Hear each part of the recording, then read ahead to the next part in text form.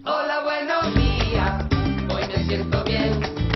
Yo me vengo arriba. Bueno, seguimos en la mañana y más en directo. Pasan cosas, pasan cosas y nosotros aquí en la mañana de Canal Sur enseguida nos metemos entre camaleones, escorpiones y arañas. Además, ya saben que los fantásticos vienen siempre cargados de noticias. Pero antes, nuestra cita con la actualidad e informativa del día, Nuria del SAF. ¿Qué nos cuentas hoy?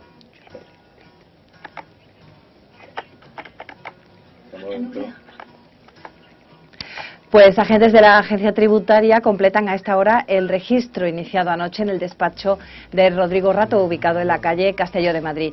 El exministro de Economía y expresidente del Fondo Monetario Internacional, que fue detenido ayer y puesto en libertad pasada la medianoche, no está presente en este nuevo registro, tal y como ocurrió ayer.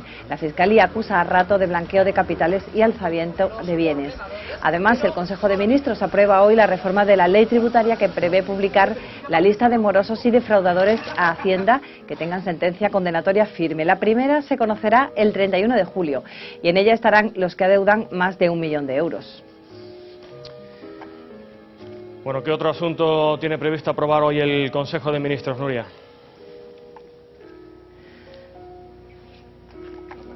Dará luz verde a una nueva prórroga del despliegue de marines en la base sevillana de Morón de la Frontera Si y con ella podrán algo. continuar en este destacamento unos 850 soldados.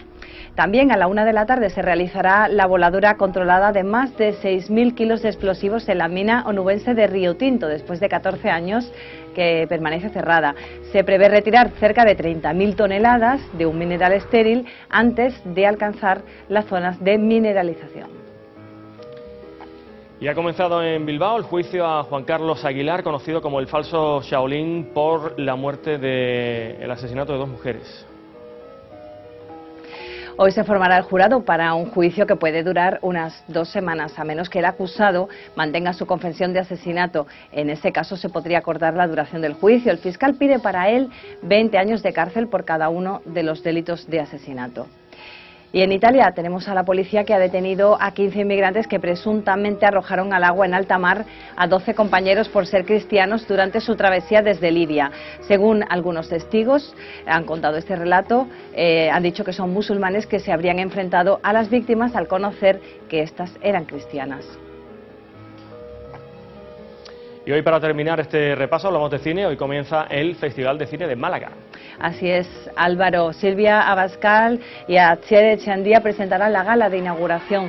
El festival va a proyectar en esta edición casi 200 películas. Es todo. Desde la redacción de informativos, más noticias a las 2 menos 10. Feliz fin de semana. Muchas gracias, Nuria, igualmente. Luego vemos y oímos a los servicios informativos de esta casa a partir de las 2 menos 10. Ahora, música en directo en la mañana y más. Pues estábamos deseando escucharles, pero ya, ya están aquí. Han llegado desde Illora, desde Granada, y vienen con todo su ritmo. Son los vecinos del callejón, con ese nuevo disco que tienen ahora mismo ya en el mercado. Ya era hora. Eso digo yo, ya era hora de que estuvierais aquí. Pues sí, ya era hora. ¿eh? de que vinierais con su ritmo. No saben ustedes el ritmo que ellos traen, ¿eh? que han levantado aquí durante el ensayo a, a todos los compañeros. Es imposible dejar de moverse con vuestra música. Sé que esta noche actuáis en Sevilla. Sí. ¿Dónde? En Para la- quien quiera ir. La sala El Holandés Errante, Ujú. un festivalillo que hay de reggae y de ska, con varios grupos, con el Bastón de la Vieja y con un montón de grupos más.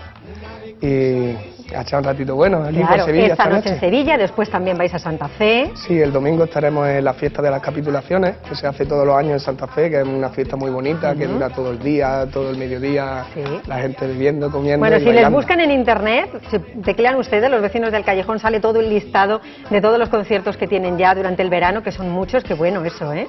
Tener Sí, tantos sí. conciertos. Sé que tenéis muchas colaboraciones en el disco, Sí, sí. y una de ellas es del Canijo de Jerez. Gran amigo del programa, saben ustedes que la sintonía de nuestro programa es del Canijo de Jerez. Bien con él, ¿no? Todo Muy un muy personaje. bien, Un pedazo de amigo y un pedazo de colaboración la que nos hizo y muy Pues contento. vamos, que es un disco con el que os lo habéis pasado bien. Sí, sí. todos, ¿no? Con todos los discos nos lo intentamos pasar lo mejor posible. Bueno, pues estamos deseando escucharos. ¿eh? Así que adelante, el plato para vosotros y todo el ritmo y nosotros deseando bailar. Vale. Gracias. Un acústico aquí de los vecinos. Hoy.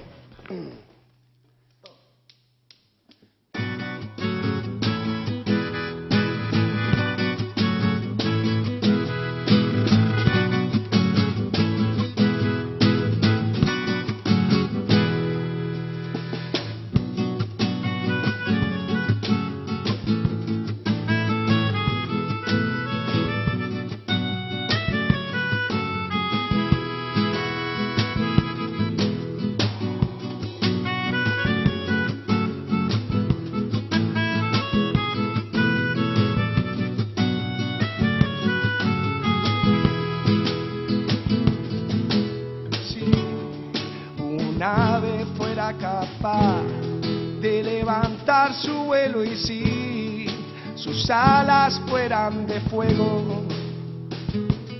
Si ve algo que te interrumpa en tu camino, no busques la salida si te crees capaz de surcar los cielos.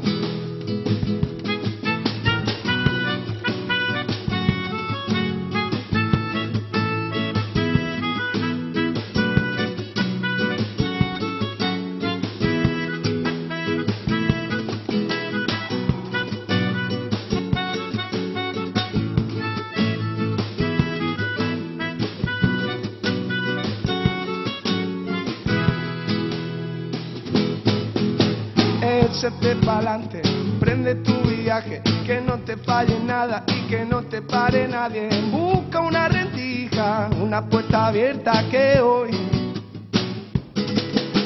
hazte con el mando de tu propia vida, pues échale coraje, pon fin a tu pesadilla. Busca una rendija, una puerta abierta que hoy, que hoy, que hoy el sol ha vuelto a brillar, que hoy ha vuelto la alegría que hoy algunos vienen, otros se van. Que hoy el gallo ha vuelto a cantar, que hoy y es un nuevo día, que hoy aún me quedan historias que contar. No dejes para mañana lo que puedas hacer hoy, tus sentimientos los debes sacar. Si al resto no empujas, por eso hazte con el mando de tu propia vida. Échale coraje, pon fin a tu pesadilla. Busca una rendija, una puerta abierta que hoy.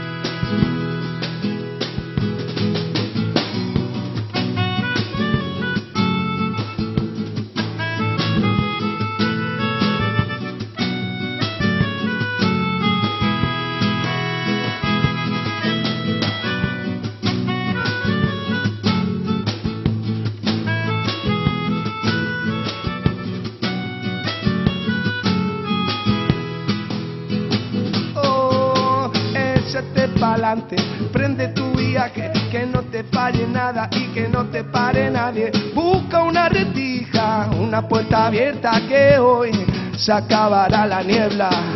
Hazte con el mando de tu propia vida, échale coraje, pon fin a tu pesadilla. Busca una rendija, una puerta abierta que hoy, que hoy es el día.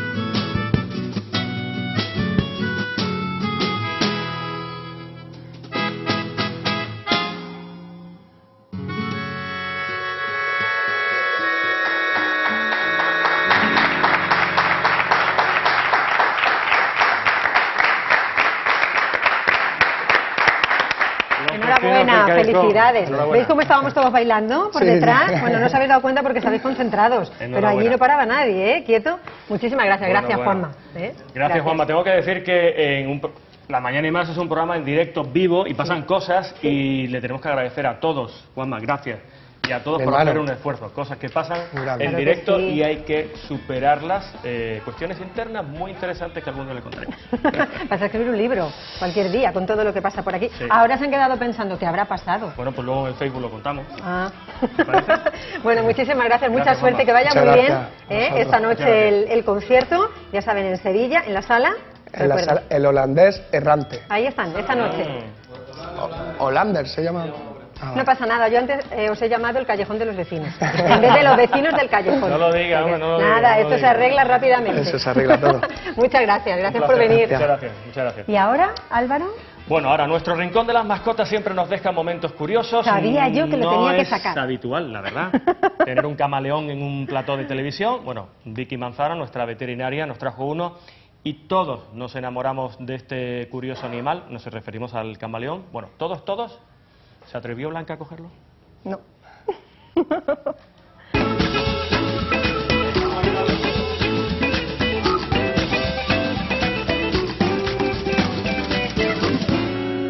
Hoy nos tienes preparado uno de los animales más simpáticos que existen, el camaleón. Es símbolo de, de- de, en fin, de simpatía por, por la imagen que tienen, esa lentitud, pero no se engañen, el camaleón es uno de los cazadores, ¿verdad?, Eh, más eficaces que existen. Hay que decir que los camaleones que se dan en Andalucía, eh, hay muchos camaleones en Andalucía, pero en los que se dan, los que hay en Andalucía están protegidos. Por ejemplo, en la, en la zona de Rota, en la zona de, del- de Costa Ballena, de, de Chipiona, del puerto Santa María, en las dunas hay muchos camaleones, pero esos no se pueden tocar. No se pueden. Están protegidos, se pueden mirar y son muy bonitos Observar de ver, observar. Y, sobre todo respetarlo, ¿no? Y- Pero estos son eh, de una especie que sí se puede Sí. comercializar, que son concretamente... eh, esto es un Fucifer pardalis, son originarios de Madagascar. Este tiene tres años, es un macho y él también es un macho, pero tiene tres meses. Eh, tenemos que eh, asemejar las condiciones naturales donde él vive. Eh, requiere una temperatura de unos 27 a 33 grados, dependiendo de la especie que sea. Una humedad es súper importante para que no haya retenciones de muda. Eh, la, la humedad necesaria, que lo vamos a medir con un higrómetro, que lo vamos a colocar en el alojamiento, en el Ujú. terrario, entre o- 70 a 85% de humedad. Y eh, es necesario pulverizar al animal en época de muda. Tenemos que crear el ámbito de humedad para que no tengan problemas eh, de piel y favorezca así la, la aparición de, lo- de los hongos. Está mirando con un ojo para allá. Me está mirando a mí Con un ojo te está mirando a ti. y con otro ojo está mirando a mí. Y de vez en cuando lo mira a él también. Cuidadito, ¿eh? que estás en directo en la tele. Pero bueno, veis Pórtate que bien. está súper tranquilo, súper relajado y Una de las cualidades también características es el cambio de color. eso es. Esa, Eh, ¿cómo- ¿Por qué, por qué se eh, produce? Cambian de color principalmente porque ellos necesitan camuflarse, la naturaleza se necesitan camuflar, pero también indican el estado fisiológico del animal. Si está estresado, si el animal está enfermo, si está enfermo, por ejemplo, se adquirirá una tonalidad amarillenta. Ajá. Si el animal, si es una hembra es gestante, pues tendrá otra tonalidad. Que el animal está durmiendo, pues este se pondrá naranja. Sí. Cambian en función del estado fisiológico en el que en ese momento esté el animal. ¿Qué comen, Vicky? ¿Qué, qué, cuál es? Si Pues lo tenemos en casa, ya sabemos que tener que recrear su, su hábitat. ¿Ahora qué le damos de comer? Pues comen invertebrados, eh, comen grillos, comen saltamontes, eh, escarabajos, eh, gusanos de la harina, las mariposas de gusano de la harina, eh, gusanos de seda, en fin. Blanca, por favor, acércate. Vamos a ver, hoy es Mira, el día de la felicidad. hoy es el día en de la felicidad en el trabajo. Y tú estás empeñado en que yo coja un camaleón que no voy a Pero, coger. Blanca, Blanca, escúchame. cógelo. Tú sabes Sí, que no a lo suave... Vicky, ¿tú qué tienes con los reptiles? Yo- hija mía. Me quiere, ¿Eh? ¿verdad? ¿Qué- qué? Vamos a cambiar ya un poquito de espera. Pon el dedo así. Pon el dedo así. Ponlo, que no te va a hacer nada. Es que me da cosa, ¿Sí? Álvaro. Sí, súper- sí. Es Pero chiquitito mira. solamente. Mira, Es que- Si te está mirando Sí, con este pero- ojo, está mirando a Alicia Jiménez, que ya está ahí. Ahora vamos a ir a que lo coja ella. Es un animal muy curioso, porque mira que es curioso, llama mucho la atención, pero es que yo con los reptiles tengo una relación Sí. como de cada ¿cómo uno en su sitio, Bueno, cada uno en su tocarlo, sitio. Blanca, sí lo vas a tocar, ¿no? Cada ojo va para un lado, ¿eh? Sí, sí, lo hemos pero- estado diciendo, pero ¿tú dónde estabas? sí, sí. No, yo te he estado escuchando, pero que ahora visto desde cerca se lado. aprecia muchísimo mejor. 360 grados. Sí. Para mirar de un lado a otro y ahora saca la lengua y te... y te- Me voy con Alicia. De verdad que enreda es Álvaro, ¿eh? Y eso que hoy es el día de la felicidad en el Yo trabajo. creo que tiene ¿Cómo ganas de que- ¿Cómo puede ser uno feliz con un compañero así? Anda, si tú no sabes la suerte que tienes. Me voy con No Alicia. sabes la suerte que tienes tú.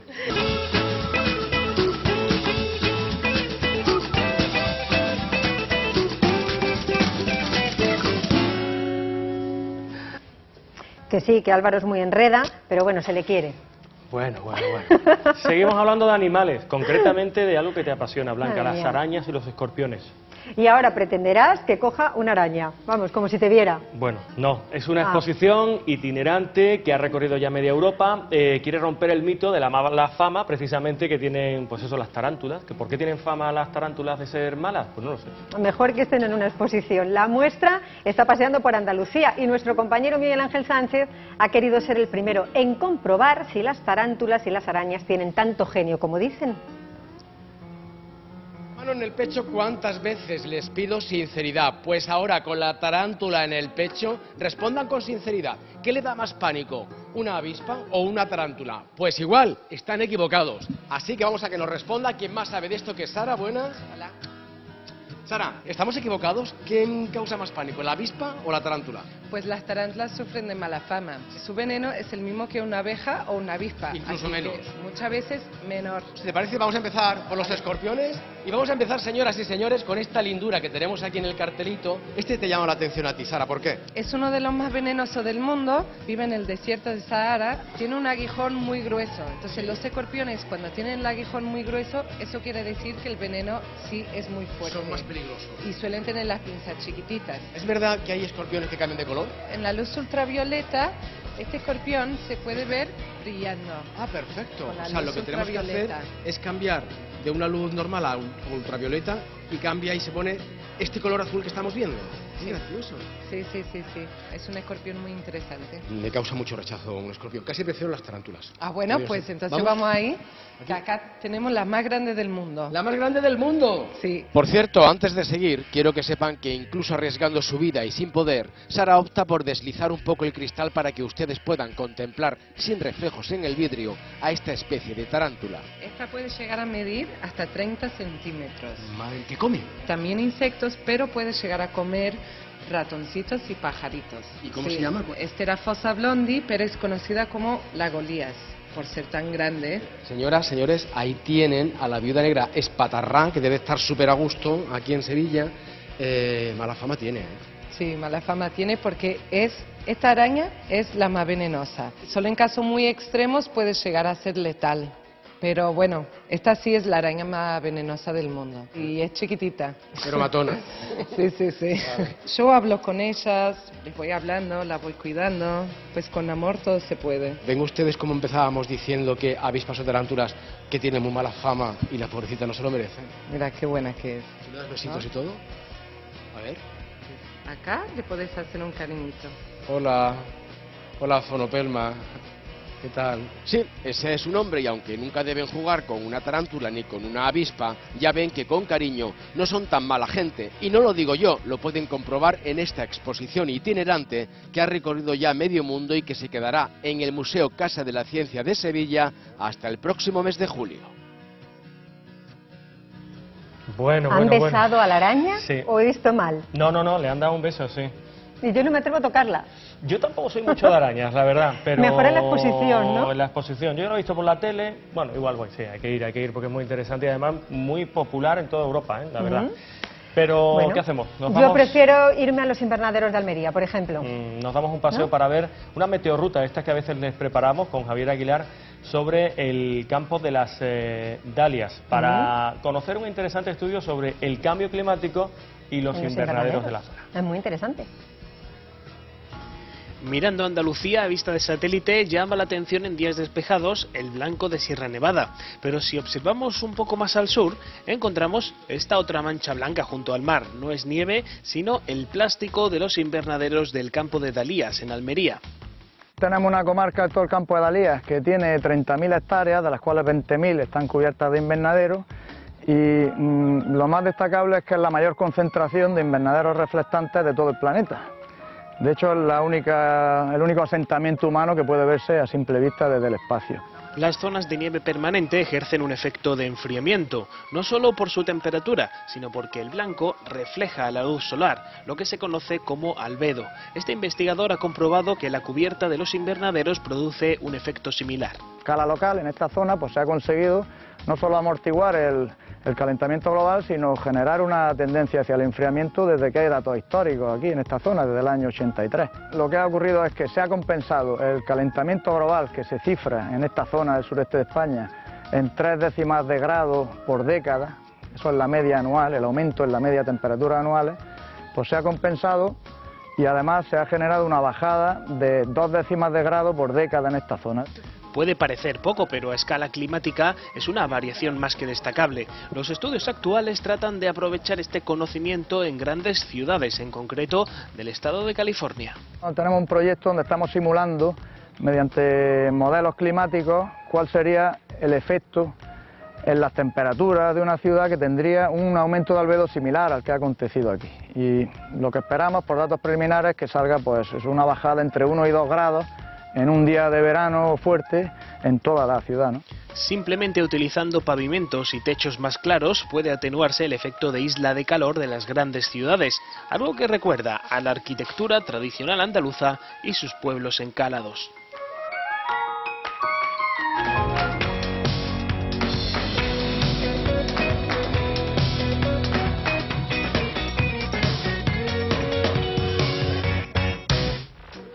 Un saludo al pueblo de Dalías en Almería. Bonito reportaje de nuestro compañero Javier Aguilar. Ya están aquí nuestros fantásticos, ¿eh? Ya han visto ustedes, ¿verdad? La ráfaga que les anuncia. Pues ya han venido. Jacqueline Campos, Carlos. Telmo, José Pablo Ruiz. Hola, ¿qué tal? Bienvenidos, ¿qué tal estáis? Muy bien, Muy bien. bien. Los Ah. viernes traen así como una sonrisa de oreja Sí, a oreja. pues, Ellos, bien. de no- camuflaje ya nos que viene Carlos. que va a venir. ¿no? quiero camuflar ¿Qué te vas a la selva o a dónde? Mira, vienes muy bien para irte a la exposición de arañas que acabamos de ver. Uy. Uy, ¿No? ¿no? ¿Te encanta la- no, no, ¿Nunca comido muerto. araña en China? He, he- he comido cucaracha, he comido Qué ricas. insectos mil, ¿En pero China? en China. ¿Y en tu nevera cuando hay cucaracha también te la En mi preparas? nevera no hay nada. Tónico, tónico de la cara. Otro Tónico enreda, ¿eh? Otro enreda. José Pablo La es otro nevera, enreda. la nevera de Carlos es totalmente dermatológica y Seguro, cosmética, seguro. nada más. Eh, Tónico, quiero- de la cara, pero comida mucha. Blanca, con todo mi Sí, José cariño. Pablo. a Jacqueline Campos, grandeza de Marbella, Carlos Telmo, gran rondeño universal. Hoy un muy importante en Andalucía. Para tu porque hay un señor Ah. que cumple 32 años. ¿Quién? Ese señor es. Alejandro Maroto, compañero Hombre, nuestro, al cual pido de aquí un aplauso. Alejandro, feliz Alejandro. cumpleaños. 32 años que cumple. Hombre, hombre, 32. Alejandro. 32 años, ¿eh? 32, Muchas 42, felicidades. 32. Te queremos Hombre, de verdad, siempre, hombre. lo que nos ayuda, ¿verdad? Siempre, que ya se han puesto los micrófonos para adelante, para acá, entrar Nos por aquí, entrar por también, allí. ¿eh? Bueno, Nos sí, regaña. Claro, pero también nos tiene, también nos tiene que regañar. Es muy- ¿Os calláis? Es verdad. Pero con cariño nos regaña. Es muy profesional, ¿eh? Sí, sí, Eso sí. sí lo tiene Pero qué asco, qué joven, hija. 32 años, Carlos. Pod- Podría ser tu hijo. O el tuyo, o el tuyo. No, el mío sería el nieto. Vamos a entrar No, en porque yo materia porque es que se me, se me disparan, se me Yo disparan y se me van del tema, se me van del tema. A ver, que Pastora Soler ya sabemos lo que va a traer. Vamos a dejar a José Pablo, ¿eh? a su vecino, que nos lo cuente. Pido imagen de Pastora Soe. Dice, ay, Venga. tenemos Sí. imagen de Pastora. Pues sí, Pastora Soe que está embarazada, muy feliz, se, re- se ha retirado una temporada del mundo de la canción, del espectáculo, aunque ella sigue muy feliz eh, en el momento de estar embarazada con su marido Francis Viñolo. Tú ya José cuando Pablo, aquí lío. ¿Qué? ¿Niño la o niña? noticia, dije que iba a ser niña. Y efectivamente, Pastora Soe espera una niña. Pero yo creo que tú habías hablado con ella antes y te la, había dicho. No, no, no. No, no, con no. ella no, con el ginecólogo. ¿De No, cuántos no. meses está? Pues todavía, eh, ella se quedó embarazada en septiembre, pues fíjate ya de septiembre que ya está en un estado bastante avanzado de Pastora Soler y Uy, sobre todo muy feliz, está compartiendo el tiempo entre Málaga, donde su marido Francis Viñolo, su corio, donde tiene una casa magnífica, con su padre Pilar y José Francisco, y la verdad yo me Bueno, alegro el que nombre, Pastora el nombre de la niña. El nombre Pili no se va a llamar. Ella se llama Pili, eh, la madre también se llama Pilar Luque. eh, pastora, tampoco creo que Pastora. Pastorita. Diata no, Pastorita tampoco. Es un Pastora- saludo José Pablo, perdón, Pastora no tiene hermana, tiene hermano. No, no, son Hermano, hermanos, hermano. dos, dos, tiene dos hermanos. Eh, y ella quizás le ponga el nombre de Estrella, quizás. No lo di por hecho porque es el nombre de la patrona de Coria. Viñolo. También Estrella de Antequera, que es la que me hace las camisas. Es un nombre muy bonito y Porque yo creo si hubiera que... sido niño, José Pablo hubiera sido un hombre espectacular. No, si hubiera sido niño, a lo mejor ser Francisco por el padre, Ah, bueno. porque ella es muy padrera, mi Vale, vale. Pastora. Bueno, pues está muy damos- feliz, claro. está encantadora y sobre todo tanto a la familia Viñolo de Málaga como a la familia de Pastora Soler mucha felicidad de que lo que espera es una nena. Muy Bueno, bien. pues que vaya todo bien, bien, nos alegramos. Una de cal y una de arena, un- una niña que, que va a nacer y a una gran persona que hemos tenido que despedir. Ya saben, les contamos que mm, la modelo María Pineda fallecía este mes y ya sabemos cómo van a ser los detalles del funeral, como ella hubiera querido. Como yo hubiera Carlos. querido, pero no va a ser funeral, va a ser como un, Un encuentro de amigos. recordatorio, un, Un encuentro de amigos. Su, de ella su- su persona, su ¿no? novio Emilio Molina con un- o- otros amigos están preparando un- una despedida, le van a hacer en Madrid. Ella parece ser que era muy, muy devota del Cristo de Medinaceli, entonces Ujú. el párroco de Medinaceli va a hacer una, una, una misa que la conocía muy bien a ella. Ella parece ser que le decía al Cristo de Medinaceli mi chico. Y después se van a ir a una discoteca y van a Una celebrarlo fiesta. todos vestidos de blanco, sí. Bueno, en el funeral va a cantar eh, una Ave María, una, una, sopra- una soprano, y, y Juan Peña le va a cantar la, el- la- el- la ¿Se sabe salve fecha? rociera. ¿Se sabe fecha ya? Que, el por 23 cierto, de abril, el 23 Carlos, de abril. que está hablando tú que Juan Peña, que es un chico joven que está en el mundo de la canción y el mundo de la música más vinculado a lo que es la rumba, lo que es el flamenquito, vemos una imagen guapísima. Anteriormente estábamos viendo a María Pineda en la romería del Rocío. Yo ese Rocío. año coincidí con ella, estaba radiante, estaba feliz. Mira el fondo Mira, de la yo la conocí en el año 85 en, en Málaga junto a Remedios Cervantes y era una belleza. Guapísima, O sea, era muy impresionante. Yo me acuerdo que ella enseñaba fotografías de cuando viajaba a Japón y trabajaba como modelo en Japón y era espectacular. Remedios Cervantes, que es una mujer guapísima, que es más alta, Amiga más ella. alta que María. Pineda, amiga, amiga de de ella y, y bueno, eran, eran dos bellezones y María, pues mira. María era buena persona, que es Sí. que siempre que Muy amable, ella. muy simpática, señora muy serena, dulce. muy cercana y con un gran Muy corazón. dulce. Y no se dice porque haya fallecido. es No, la no, no era así. Bueno, toda la realidad de gente, persona. toda ¿Pero la qué os gente- parece lo de los funerales? Bueno, para gustos hay colores, lógicamente, pero A mí verdad que aquí me siempre da- tenemos me asociado cuesta. el funeral A la tristeza. Y sin Bueno, embargo, pero- bueno, hay mucha gente que prefiere. Bueno, pues, yo, yo eh, estuve en un almuerzo más de alegría, despedida ¿no? porque eran extranjeros y, y hacían un almuerzo y estaba allí la hija y era insostenible, vamos, Perdona, los estar americanos allí, después de la, gente después de la brindando. los todos anglosajones en general después de la misa o después del funeral siempre dan una, una copa y una Sí. comida y una eso está, está, Mm, está y además muy- van de blanco. van de- van de- también. los No, americanos no, van más de negro. Los- los asiáticos. ah no los, Los, los de asiáticos van los- de blanco. ¿cómo? Los asiáticos. los asiáticos de Sí, de Y blanco. en China de rojo. en China de rojo amortajan creo que ¿Sí? amortajan de rojo sí qué bonito Es cultural, al final es, Es un tema cultural, la muerte Sí, también. sí, los Yo quiero hacer un sí. llamado a mi admirado Carlos Telmo, que Carlos ha hecho de todo en la vida, todo tipo de eventos, presentaciones de libros, de moda, de revista. Ya sé dónde vas. Le falta a Carlos Telmo organizar un funeral. sí Bueno, ya lo tiene en mente. En mente, Prepárate sí. el. Ya lo Pero tiene en sí, el mente. no, pero el mío, Josepa. sí, el de mi madre medio, medio, lo, medio lo organicé, medio lo organicé. Cuéntalo porque- que es muy agradable. No, fue precioso, el, cariñoso, el- Carlos. el- pero no, te- no estaba yo entonces muy, bollante. No, sí, lo que no Ah, estaba era sí. muy bollante de dinero, pero y Pues, hice ¿Y no una misa heredabas? con una... ¿No, no estabas heredando ya? Heredar, mm, no, me voy a callar. Calla. el, el, el, ¿sabes? Hicimos una misa tú preciosa en San Lorenzo, en Sevilla, y después una- con música ideal que me, la, que me la organizó Arturo Artigas. Y, la después selección fue de Tom Martín Benítez, ¿sabes? el Tom Martín Benítez me ayudó mucho a la selección de la música, y, y, eh, y- pero era- había cosas tristes y cosas muy, Pues no cosas queremos alegres. no queremos tristezas. Bueno, vamos a no. dejarlo ya ahí. Las tristezas y vamos a irnos a Australia. Vamos a irnos a Australia. No sí, me digan de ustedes que no les gustaría Sí. ahora estar allí en una playita. Sí, ¿sabes ¿Eh? a cuál? Además, a Boris Bay. Venga, allí Porque mismo, que es un sitio playa- donde van muchos Sí, famosos. En esa playa, allí nos hemos encontrado a Penélope, a Bardén y a sus dos niños, a Leo y a Luna, porque en estos momentos Javier Bardén está en el rodaje de esa película, en la participación Mm, que hace Piratas de del villano Caribe, ¿no? de Piratas del Caribe, tal y, como, tal y como hizo ella, tal y como hizo Penélope Cruz. Entonces han decidido que es buen momento para disfrutar de unos días de vacaciones Claro. y entonces se han llevado a los niños eh, para que también vivan ese momento especial, porque además coincidía el, eh, o, o hace muy poco que ha sido el cumpleaños de, de Penélope Cruz. Entonces están eh, enormes de los grandes, niños de ya están altísimos. grandes y allí eh, bueno hay imágenes que han sido captadas por una revista. Además ella ha sido portada con un traje de baño negro. Muy. Ahí la verdad. Yo creo que están más relajados siempre más- Sí. en el extranjero que en. España, ¿verdad? Que están más relajados, se les ve en el extranjero que en Y- y España, ella con los paparazzi, digo, y los fotógrafos. Sí, bueno, y de hecho huyen de, de, para ellos, esa persecución mediática. En ese lugar tiene una casa, el Zapataki, eh, que además eh, la casa costó como 5 millones de, de euros, Oh. 7 millones de dólares y 5 millones de, que se fueron de euros. por- se fueron y se fueron por ello, por eso. Además de- han decidido quedarse a vivir de allí Hollywood porque estaban agobiados, para dijeron, estar totalmente eh, viviendo una vida muy privada, aunque luego los momentos puntuales, porque hemos visto al Zapataki eh, acompañada de su esposo en una reciente alfombra roja, pero después la vida muy guapa. La, fe- la- la vida la quieren llevar de una forma muy íntima con su Pero, familia y en este caso Penélope decide irse de vacaciones por Y aquí eso lo que, a lo que dices de, de,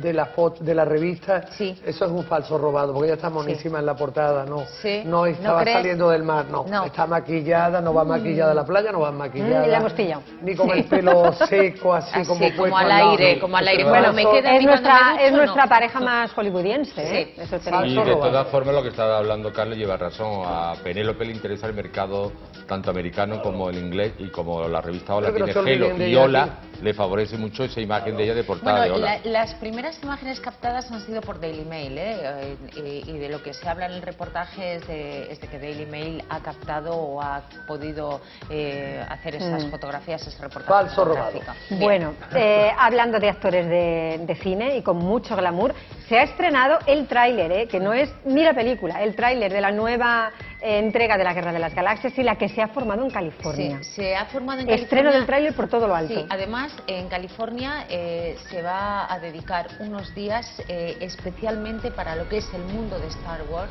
que es del 16 al 19 de abril, o sea, empezó ayer, por eso se eh, mm, utilizaba ese día eh, para proyectar o para conocer esas, ese, ese primer teaser, como, como le llaman, ¿no? ese tráiler de la Guerra de las Galaxias, la nueva película se ha formado una revolución en las redes sociales. Cuatro millones de descargas he leído esta mañana. O sea, ¿eh? increíble, millones de es descargas increíble el del mundo que rodea el mundo que rodea a Star Wars esta mañana Mm. comentándolo con Carlos no Eh, hay gente que está dentro del mundo y hay gente que no Mm. está dentro del mundo de Star Wars Yo no lo he visto, no he visto ni ¿No una. has visto Pero hay ninguna? fanáticos, ¿Ni la hay primera? fanáticos que No, viven para Carlos no vamos por al cine.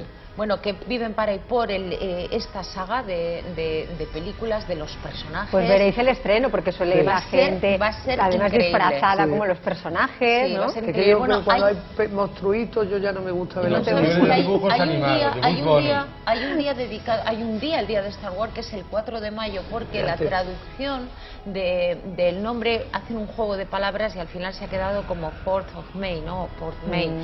Entonces el 4 de mayo es el día que utilizan para para ¿Y se dedicarlo. estrena en España? Se estrena en? España en diciembre. En diciembre. Con la Navidad, será cuando verás, conozcamos esta película. Sí. Y bueno, hoy es un día además mágico para el cine porque el Festival de Málaga en una nueva edición ya ha desplegado la alfombra roja que esta noche serán protagonistas muchísimos actores y actrices de películas, de series, porque ahora mismo los más jóvenes tienen un bueno pues un papel muy importante Mm. dentro de, de la ¿Vas a pantalla. ir? ¿Vas a- al estreno, a la Pues presentación? eh, pasaremos por allí, pasaremos Sí, por el, pues por nada, el la semana que viene nos lo veremos todo, y, ¿eh? y bueno, mañana eh, conoceremos eh, cómo ha sido esa pasarela y las redes sociales también. Y lo comentaremos a la semana que Silvia y Silvia. Asier van a ser los protagonistas. Hablábamos de la importancia para Silvia Bascal de presentar Mm. esta edición debido a ese accidente que tuvo, ese ictus que sufrió hace un cuatro años y que desde entonces hasta ahora siempre ha estado presente en el festival y para ella es un gran Ujú. honor presentar esta noche junto a otro grande de la escena el, Son el- 18 la años de inauguración Festival del de festival, Cine la de- decimoctava español de edición. Ya Málaga. alcanza la mayoría de edad ya. Y, yo- y en esa mayoría de edad, yo no mm, voy mucho a Málaga, tengo pasión por Málaga, aunque resido en Sevilla. Quiero decir la evolución que ha tenido Málaga en 18 años. Esa mayoría de edad ha tenido el Museo Pablo Ruiz Picasso, la Estación María Zambrano, Metro, otro museo de Carmen, Se- de Carmen de- El Museo de- Rebello de Toro, el Museo... O sea, una ciudad ¿no? Que ha evolucionado muy positivamente El y este Pompidou, festival, el Centro Pompidou, el Muelle 1, todo eso. Yo Ma- me refiero... Mira, ¿Que hay que ir a Málaga? ma- se engloba y además así se presentaba, que lo comentamos en Fitur, es Málaga ciudad genial. Sí, y como sí, Málaga ciudad genial, de verdad, como dice José Pablo, ha tenido una evolución impresionante impresionante. Además, esta noche en el festival, los que puedan y los que no puedan ir van a vivir, del- van a vivir muy bien el festival. Hay ahora mismo, en la calle Larios, una exposición Sí, de bonito, bonito. impresionante. Y la alfombra Mm. roja, que eso es interesantísimo. Toda la Pero calle a Larios veces, al- al pero a no puedes Sí. porque hay tantísima Y han gente. hecho un, un himno, una, que hay que ir a Málaga. una banda Y una sonora. banda sonora Tiene un, también. tiene un fin de semana estupendo. Estupendo. Y muchos más días, pero bueno, un fin de semana si estamos en otro punto de Andalucía. Carlos, fíjate los zapatos de Jacqueline Campos, son para una alfombra roja. Totalmente. Porque cuando salga de aquí se va a ir para Málaga, que es lo que nos ha contado Son ella. buenísimos, Jackie. Bueno, bueno, Me bueno. Bueno, no pues sé si nos da, nos da tiempo para algún tema más. A los compañeros de- del control, sí. Porque quería yo comentar un, un asunto que he leído. Eh, Cayetana de Alba Ay, sí, se ha bonito, convertido en eso la nueva mucho. Dulcinea del Toboso. Sí, sí, sí. A ver, explícanos explico, esto. Blanca. Blanca, yo te lo explico.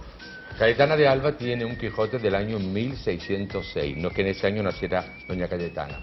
Aparte de eso, ella ha sido una mujer que ha colaborado mucho con el Museo Cervantino del Toboso, que es esa localidad cervantiana, esa ciudad de Miguel de Cervantes. Entonces el ayuntamiento ha elegido a Cayetana de Alba, Dulcinea, en Qué una serie de ¿no? actos que va a haber de exposición en torno a la figura de Cayetana.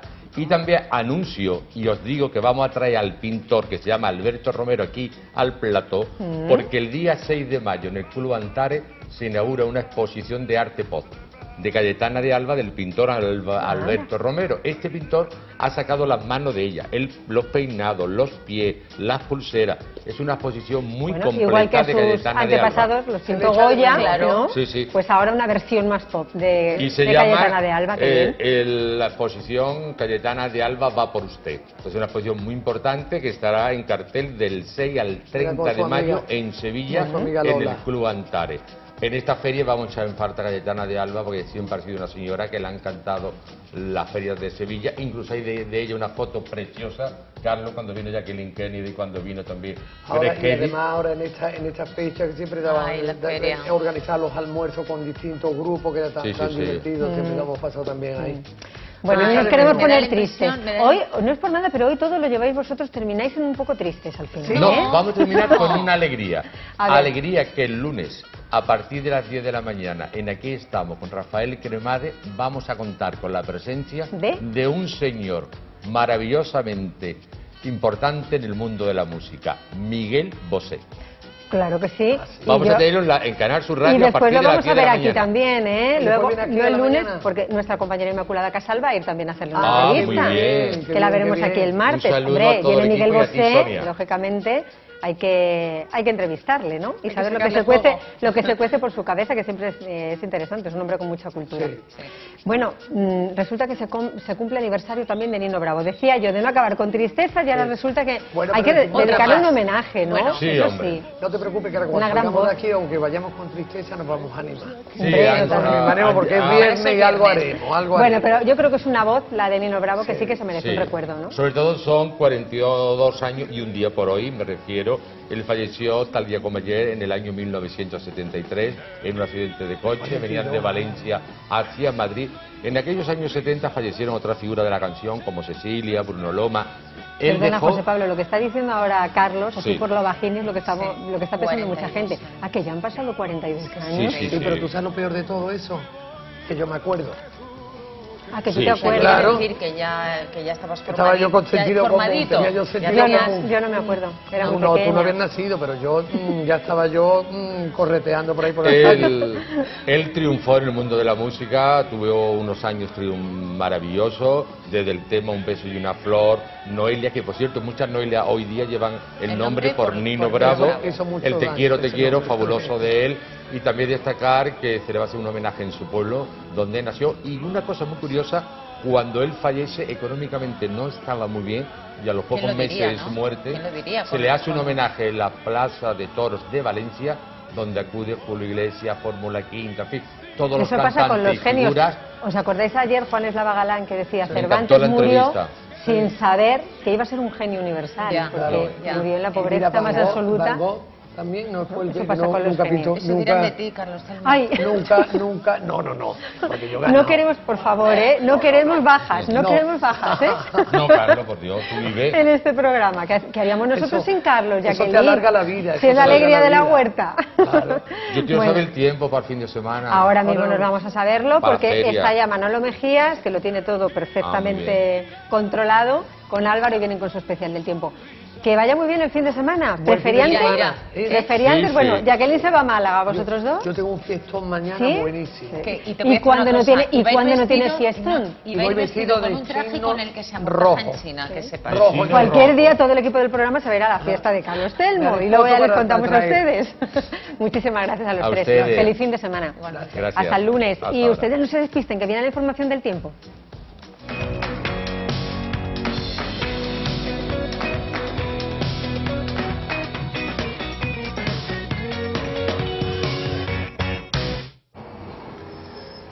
Bueno, vamos con la provisión del tiempo después de los fantásticos y del buen rato que echamos con ellos, la verdad.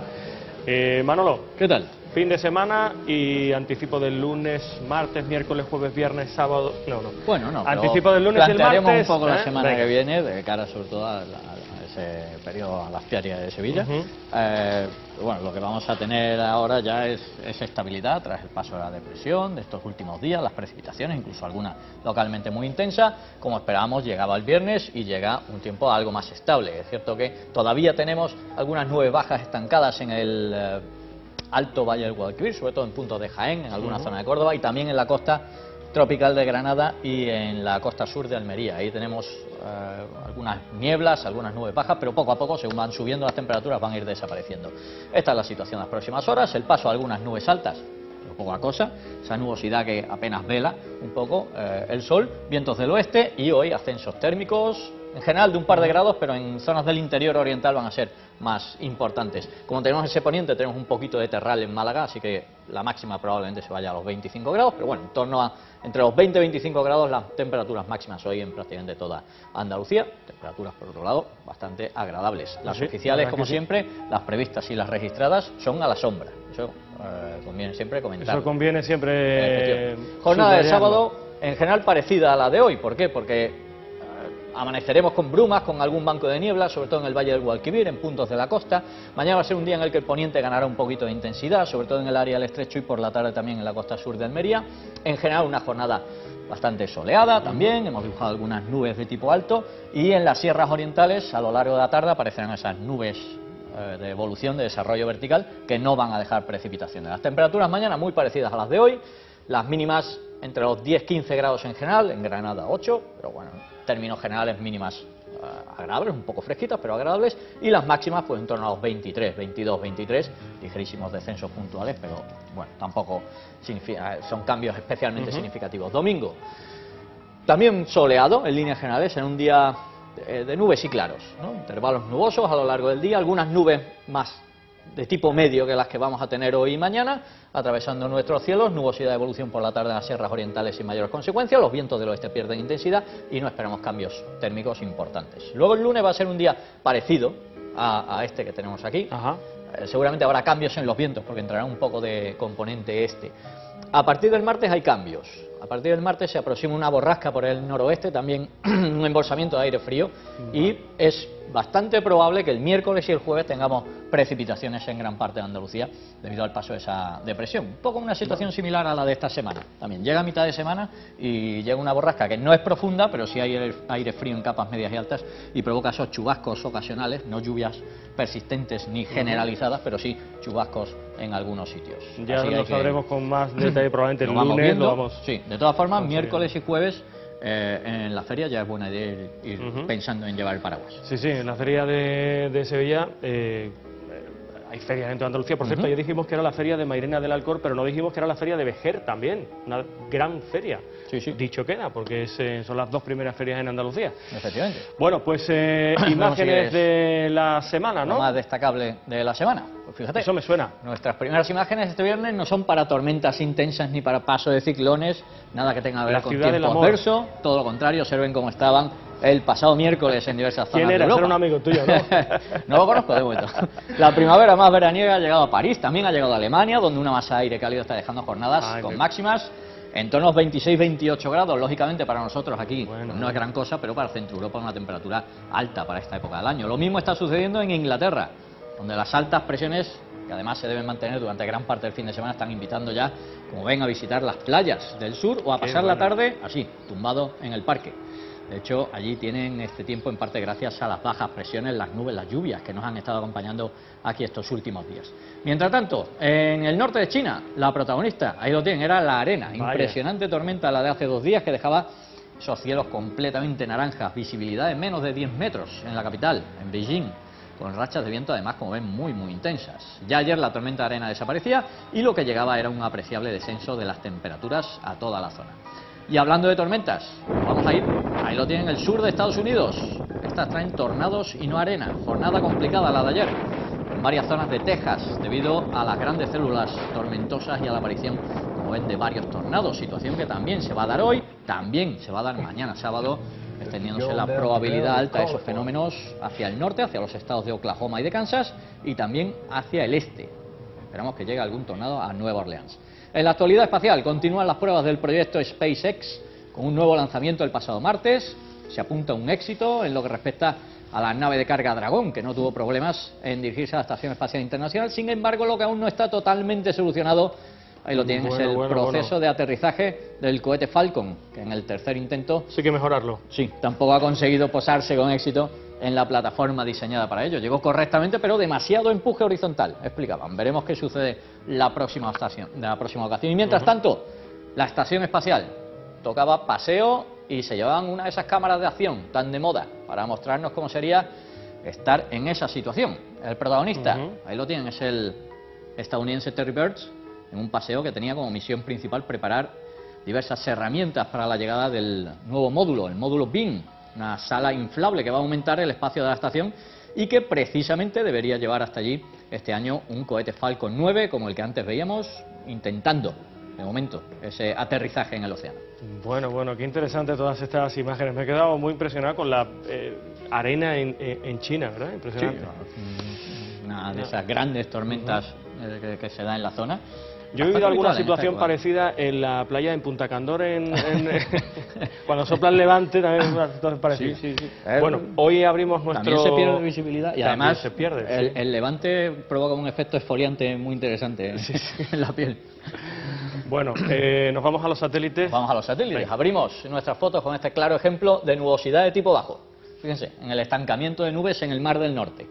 Día de visibilidad pues, prácticamente nula en el estrecho de Skagerrak, que separa Noruega de la península de Jutlandia, de Dinamarca. Nubes bajas y nieblas que se extendían también hasta la entrada en el mar Báltico. De Escandinavia nos vamos a Illinois, en los Estados Unidos, para ver el recorrido de uno de esos tornados que veíamos antes. Observen esa línea marrón que cruza la imagen. Ese es el rastro que dejó un tornado de fuerza 4. La más potente es la fuerza 5. Eh, sucedía el pasado día 9, a su paso muy cerquita de la ciudad de Rochelle. La tienen ahí al sur. De un tornado a una tormenta de arena, la que el miércoles alcanzaba esos puntos que ven en el desierto de Arabia Saudí. Esos puntos verdes en realidad son zonas de cultivo en el desierto, dispuestas de forma circular para aprovechar mejor los recursos hídricos. Y de Oriente Medio a Colombia. Esta es la Sierra Nevada de Santa María, cuyo pico más alto es el Cristóbal Colón, de unos 5.700 metros, y tiene una peculiaridad. Eh, esta sierra es que mantiene una pequeña cantidad de nieve perpetua, estando solo 10 grados al norte del Ecuador. Es la formación montañosa litoral además más alta del mundo y tiene al este las primeras estribaciones de los Andes y al oeste ciudades eh, espectaculares como Barranquilla y como Cartagena de Indias. Y de una formación montañosa a otra, solo que esta no está en nuestro planeta. Eso que ven es Marte y eh, se trata de un complejo de dunas en una depresión circular junto a esa otra zona escarpada a la derecha de la imagen. Cualquiera diría que es cualquier punto de nuestro planeta. Momento de salir de la Vía Láctea, nos vamos hasta la galaxia espiral NGC 2903, que se encuentra en la constelación de Leo, el León, a algo más de 20 millones de años luz de nuestro planeta, una galaxia un poquito menor que la nuestra, solo un poco, que contiene cúmulos estelares masivos bastante jóvenes e incluso una nube estelar muy brillante en su interior, la NGC 2905. De allí nos vamos a Carina Nebula, a la nebulosa de la Quilla, concretamente a esta impresionante formación de gas y polvo que se conoce como la Misty Mountain, la montaña mística, compuesta sobre todo por hidrógeno y situada a unos 7.500 años luz de nosotros. Y nos toca ya regresar a nuestra galaxia, a nuestra Vía Láctea, vista aquí en los cielos de Guatemala, Bueno. mientras el volcán de fuego mantenía su erupción, como pueden ver allí al fondo de la imagen. Bueno, qué interesante, la verdad, impresionante. ¿Quién puede viajar en un minuto por todo el mundo e incluso sí, sí, irse sí, a otra galaxia? sí, sí, sí. No hay que Pues solo lo podemos el hacer especial con de viernes. Mejías. Muchas No, mucha gente no- nos, eh, nos lo dice, es decir, el viernes en Canal Sur damos un repaso a todas estas imágenes que normalmente no se ven y que No, son es fascinantes. poco habitual que salgan en ningún espacio. Pero bueno, para eso las traemos aquí. para Exactamente. disfruten nuestros espectadores. Claro. Bueno, ya está esperando Fernando Díaz de la Guardia en A Diario, yo no me lo pierdo y hoy viernes menos porque hoy tiene, eh, la verdad, cosas muy interesantes que contar. Sí, como siempre. ¿eh? Buenas, Fernando. Gracias, gracias. Interesante, impresionante, ¿eh? El- todas las imágenes que compartís con nosotros cada mañana en este gran programa, La Mañana Más, gran programa, mejor equipo. Gracias, Manolo Álvaro Hasta el lunes. y Manuel Mejía. Gracias, gracias. Y Blanca.